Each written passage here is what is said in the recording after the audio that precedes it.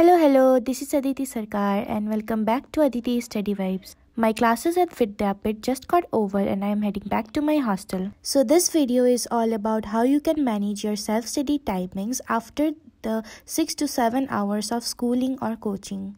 So the very first thing I did after I got into my room is that I changed and I freshened up and now I am cleaning up my desk which I made a mess yesterday night and today we got a lot of TPPs and now I am arranging them properly by subject so that I do not end up losing any one of them. These are really really valuable to me.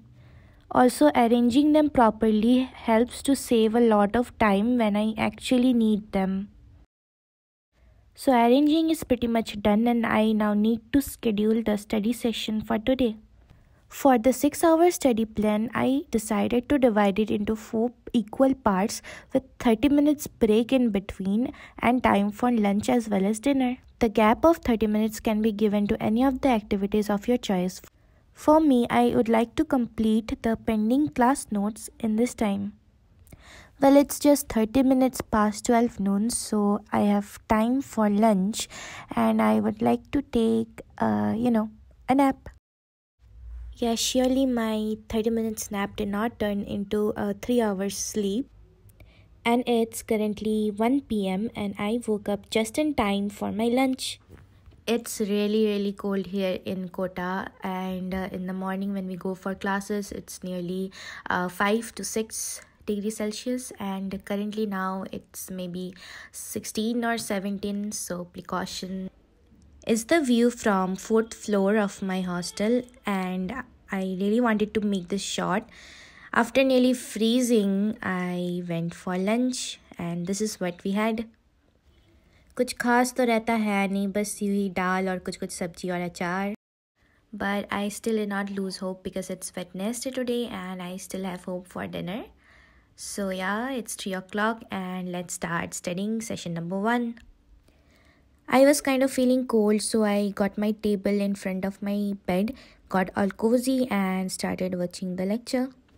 So we have the AITS test this weekend that is the all India test and I am revising motion in a plane from MR sir from the Yakin 2.0 online batch. MR sir हर एक chapter के इतने सारे questions करवा देते हैं कि अगर किसी चैप्टर में थोड़ा सा सेल्फ डाउट हो या कॉन्फिडेंस ना आए तो उनका लेक्चर्स दोबारा देखने से पूरा क्लियर हो जाता है well i'm done with my first task and now the second task will be isomerism.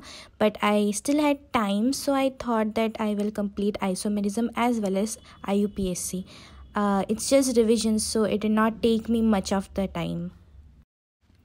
So you must be wondering that it's already january and i am reading these chapters. Well actually it has a story in PW Vidyapeeth Kota, all the subjects are going parallelly physical, inorganic, organic, 11th physics, and 12th physics. We have already completed 50% of our syllabus, but since it's an all India basis test, so the syllabus has been kept minimal.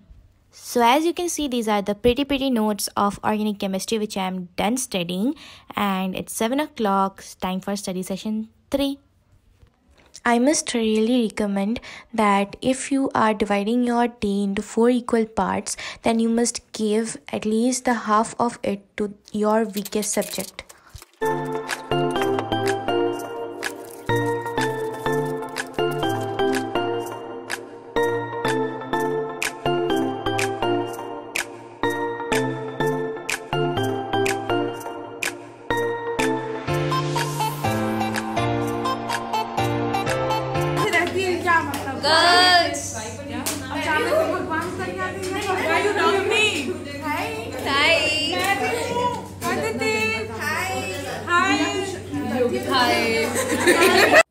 After having dinner with my friends, I started my fourth study session uh, at almost 9:30 p.m.